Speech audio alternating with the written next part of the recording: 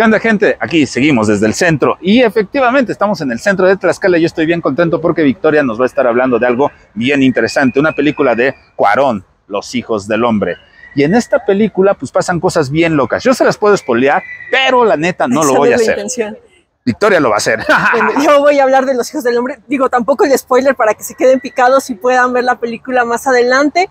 Esta película se llama Los hijos del hombre eh, es del, director mexicano Alfonso Cuarón. Se grabó en el 2016, pero aquí lo bien, eh, bien interesante que trata esta, esta película es un futuro distópico. Eh, hay infertilidad en el mundo, por alguna extraña razón no cuenta la película, las mujeres dejan de ser fértiles. Entonces, la película se sitúa en el año 2027, ya llevan 18 años sin tener ningún como que nacimiento.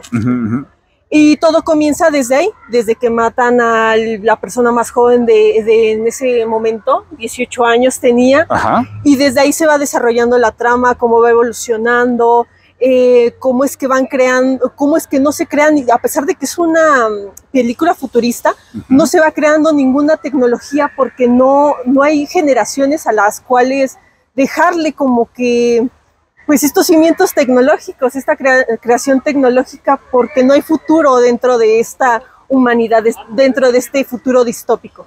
Claro, y es que en educación es bien importante darnos cuenta que si no educamos a las futuras generaciones, podemos vivir alguno de estos futuros distópicos. 1984, Fahrenheit 451, ya nos mostraron escenarios como este, y en los hijos del hombre la imposibilidad de que salgan futuras generaciones es como muy simbólico. ¿Por qué?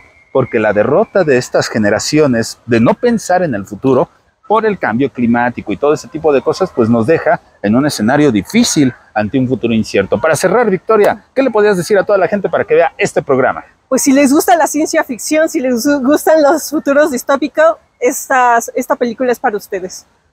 Muchas gracias, nosotros continuamos acá en Desde el Centro.